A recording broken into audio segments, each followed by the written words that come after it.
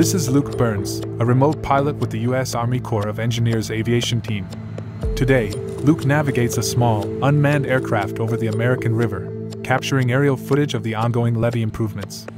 This substantial federal infrastructure project is designed to fortify flood defenses for the adjacent communities in Sacramento. However, piloting for the Army Corps of Engineers isn't simply about choosing a good spot and taking to the air.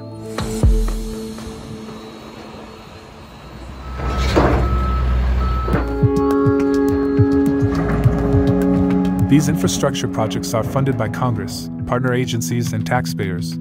So pilots like Luke shoulder an additional layer of responsibility. They are bound by stringent local airspace, Federal Aviation Administration, and Army aviation regulations.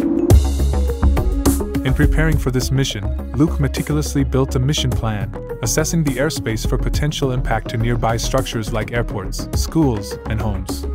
Additionally, he performs a daily risk assessment, maintains a flight log, reviews a safety checklist, and thoroughly inspects the aircraft before flight. Yet, Luke isn't alone in this. Every Army Corps of Engineers unmanned aerial mission requires a team of at least two crew members, a remote pilot, and a visual observer. Though the flight process and requirements may seem intensive, it is necessary.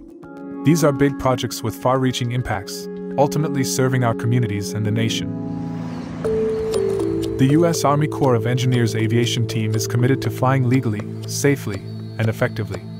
To delve deeper into our program and watch the latest captivating aerial videos of our projects, please visit our website or social media.